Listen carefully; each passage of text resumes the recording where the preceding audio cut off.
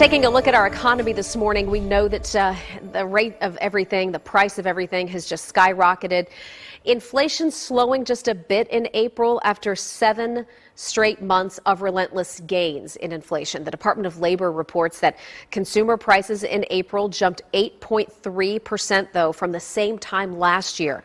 So this morning, Fox 17 News' Jackie Del Pilar sitting down with a financial expert about when we might be out of the woods and what we can all do to survive in the meantime.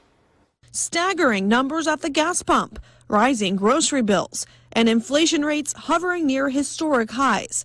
Finance expert Andrew Winnett says it's a difficult time for people's wallets. We're still struggling. In fact, a lot of the middle class Americans are having a hard time making ends meet right now. Winnett it is a business owner and financial advisor. He says the first thing families should focus on right now is lowering their debt.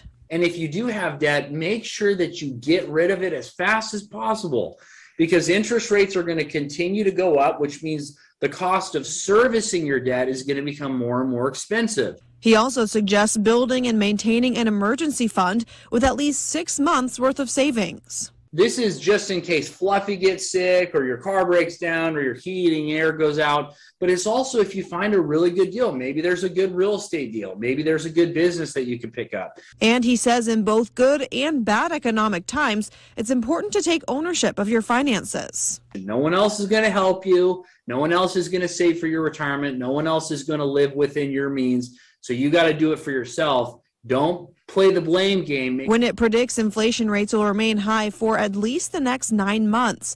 He says it's important to live within your means to come out stronger as the economy improves.